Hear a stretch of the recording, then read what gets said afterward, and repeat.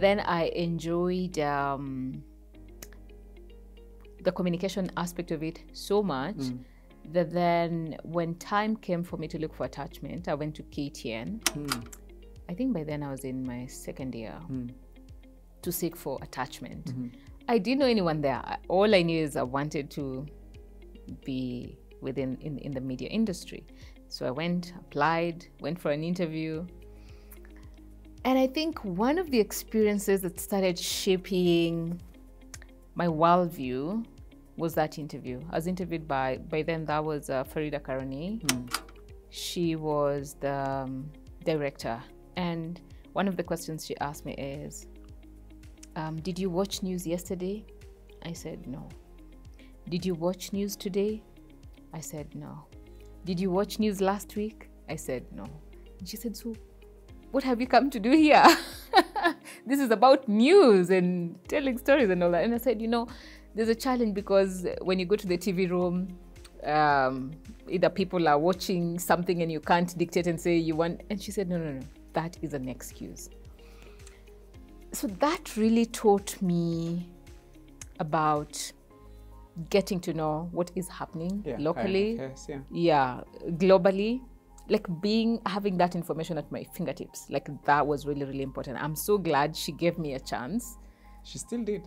yeah she did. She did. i think i i performed well. Mm. yeah so of course she did. And i really enjoyed my time as uh, an intern at um, ktn getting to cover stories get, getting to support major senior reporters to do documentaries. Um, really really amazing telling stories um, yeah that was That that's University. really nice. That's really nice. And I mean, uh, and it, it also contributes to your to your grades, right? You- oh yes Yeah. being, being a student leader No, no, no. To your Attach, grades. attachment Yeah. no It's just your attachment is. that was a personal initiative Oh, it was a personal. Yeah. So your attachment, Mm-hmm. uh, the way you earn is, is your attachment doesn't get graded. No. And contribute. It's no. just for and, your and unless that has changed now but by then it, Okay. it wasn't that was just personal initiative i had so much free time in my hands and i wanted to get Mm, work All experience right. Okay. Um, other things that are are you socially or academically or extracurricularly any other thing that's happening in your in your nice busy uh, politically charged life? so i also remember looking for some jobs here and there Mm-hmm. and i remember getting um, an opportunity to be a salesperson for Haco Industries ah, to sell pens and stationery to companies. look at that. And we used to be about 20 or so salespersons. Mm. And at the beginning of the day, we'd meet at Givenchy and get a whole pack of um, stationery that we were supposed to sell. Mm. And for me, like by 2 p.m., I'd be through and I'd be borrowing my friends, you know, you know, give me yours. Oh man. You know, because at the end of the day, I knew, you know what, this is how I earn my bread. This is how I feed myself. This is how I support my siblings. So I need to sell more, sell faster, then make more money. Um, so some some of my friends would wonder, hey, Caren, you're, you're a really good salesperson. But no, I knew I needed to work hard and, and make money. So that means I needed to sell more. Hmm. So um, that was one one of the things that was keeping me busy. The other was conducting research. Hmm. I then sort of um, started engaging with civil society hmm. movement, doing researches here and there about young people, doing surveys. Um, and, and that was interesting because then I used to get paid from that. Um, The other was um, speaking on behalf of students, on behalf of young people here, there. Um, and, and that was interesting. I would get paid again to do that. um, the other, I also then started getting involved quite actively um, within the youth movement. Um, like I started taking part in um, formulation of the national youth policy, the mm-hmm. first ever. Mm-hmm. I took part actively in that process, and in the process, I got elected as the Western Province representative for young people to mm-hmm. make sure that the policy was disseminated mm. in the region and mm. at the national level. So mm. I think that was a push for me to now even get into the work I'm doing now.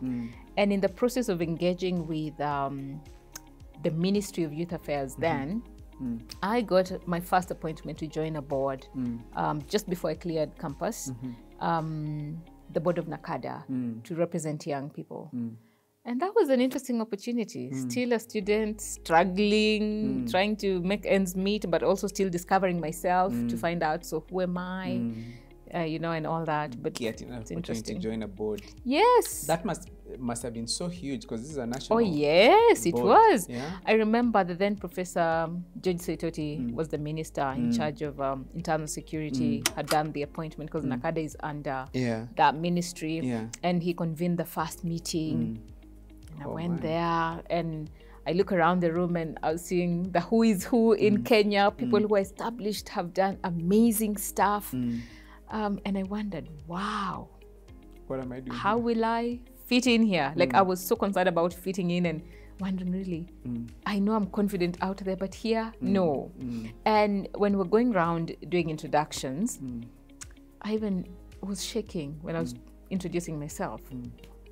But I remember one of the board members, I oh, she's a lovely lady called Dr. Manguyu, a pediatrician. She called me aside and told me, you know what, Caren, you might be young, on this board, but you're the most qualified person to speak on youth issues. So I need you to look within you and find your voice, find your courage, and speak up. Hmm. You are qualified. I am here to support you. And she used to mentor me. She used to make time, drive with me wherever she's going, and I'd listen to her, ask questions. She would guide me hmm. to the point where I now found my voice, found my place, hmm. and started advocating for young people hmm. around issues of drug abuse and addiction and rehabilitation. Hmm. And so when the time came for me to be appointed on other boards, and I, I knew what happens in boardrooms, I knew my place, I knew how to prepare um, for the for board meetings, read board papers, have conversations, do your research. So mentorship That was very key key. Yes. Yeah. So was she was she like your first huge mentor in that? I mean, in that kind of in that space in that yes space. absolutely yes Yeah. I, I don't even know whether she knew she was mentoring me but oh she she, Mm. I mean, she really was just guided imparting me yes wisdom and passing it on. yes eh, As it were, in, Yeah. in in her time, and deliberately so for you. yeah Yeah. and i remember you know so as a student i was still yeah trying to make ends meet trying to finish school look, looking for a job Mm. Yeah. and all that um, and the interesting thing is we would go for board meetings Mm. and you know like senior government officials would be some of the board members. Mm-hmm. and so when the meetings are over um, the drivers come some security people come Mm. and you know guys are just driven away. And i'd be there. And dr mangu said Caren you will drive with me.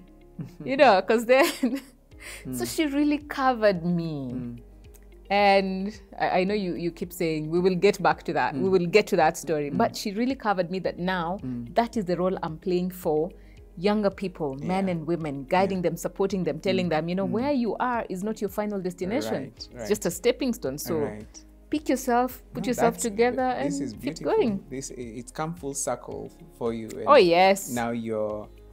She paid it forward. Now you are Oh, paying it forward as well. Yes, Yeah, absolutely. Yeah, yeah. That's that's uh, as it should be. Again, very very important. Uh, it was done for you. Now you do it for others.